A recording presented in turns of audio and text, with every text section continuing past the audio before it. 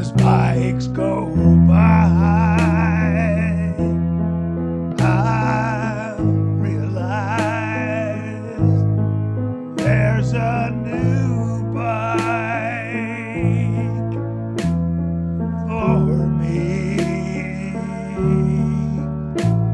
and now, now that I'm here.